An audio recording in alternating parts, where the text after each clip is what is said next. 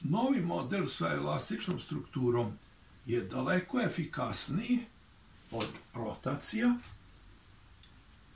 i od starih konstrukcija sa ležajevima raznih vrsta, sve je testirano i to je bilo u naučnim radovima i replika koje su rađene sve na bazi kotrljajućih ležaja. Međutim, elastična struktura daje mnogo više.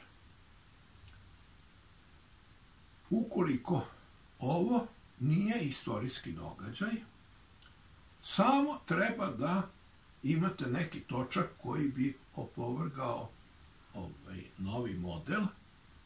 Ukoliko nemate točak, recimo bicikla, pa imamo mi ovde bicikala i raznih drugih točkova, pa ćemo to sve lako proveriti. Znači, uvek je sve moguće proveriti, znači imamo sve ovde, bicikala, hvala Bogu, ima i sve ćemo proveriti da li je to baš tako. Da li je istorijski događaj ili nije. Evo, pored što su oscilacije elastične strukture daleko efikasnije od rotacija i starih konstrukcija, ali ovde imamo i nove mehaničke efekte koje je još jedan plus celoj stvari, a to je kad kočemo izlaz ili blokiramo izlaz, ne trpi ulaz. Eto, to je ovaj jedna jako bitna pojava da bez ikakve komplikacije kad kočimo izlaz ne trpi ulaz.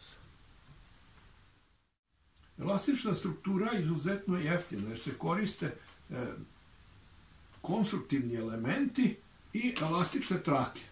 Elastične trake. E sad, poređenja radi, možemo proveriti koliko košta ova merna traka od 50 metara.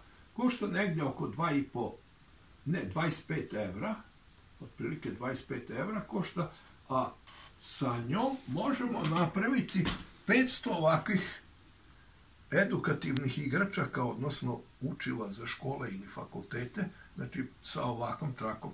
To je, e, može se govoriti da je čak i jeftinije od jeftinih ležajeva postojećih.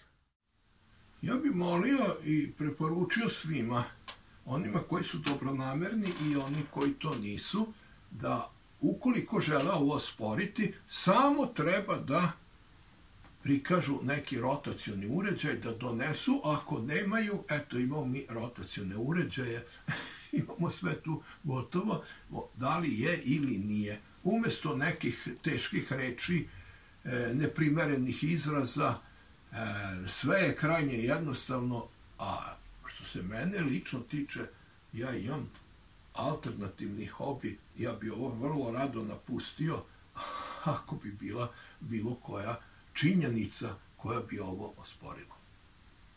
Bio bi jako zahvalan. Dajte činjenice.